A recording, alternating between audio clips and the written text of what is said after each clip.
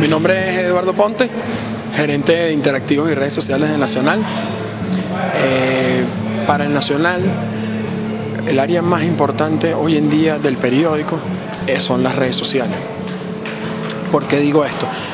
antiguamente los medios tradicionales tenían mucha fuerza dentro de en este, en este caso de nuestro departamento. El impreso cobraba mucha, mucha, mucha fuerza dentro del periódico. Con la venida del Internet, con la revolución del digital, se cambiaron un poco los paradigmas.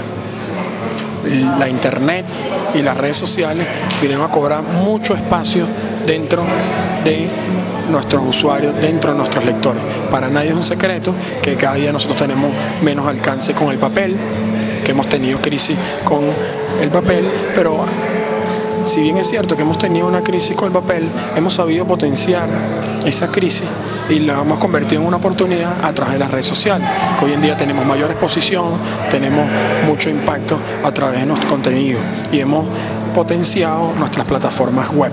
Hemos crecido en número de productos digitales. Las redes sociales son muy importantes en Venezuela porque para nadie es un secreto que Venezuela es un país ávido y voraz consumidor de información. Sabiendo el nacional de eso tan importante, hemos sabido potenciar muy bien y tenemos una estrategia clara de cómo eh, medimos nuestros impactos y cómo le llegamos y fomentamos estos nuevos lectores. A través de una estrategia clara que es la interacción y cómo generamos lazos afectivos con nuestros lectores, con nuestros usuarios, con nuestros consumidores en general. Eh, nos hemos apoyado mucho en el tema de la participación, la interacción al 100%.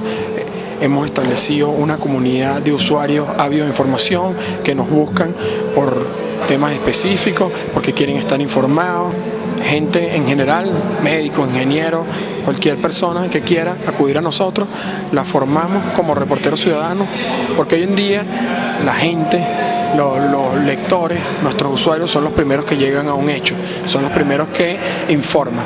Por eso que nosotros los tomamos tan en cuenta, por eso es que estamos tan pendientes de qué dicen ellos de nosotros, cuáles son los contenidos que más impactan, cuáles son los contenidos que más se viralizan, qué necesidades tienen ellos de estar informados. En base a eso nosotros medimos, monitoreamos e interactuamos mucho en nuestras redes.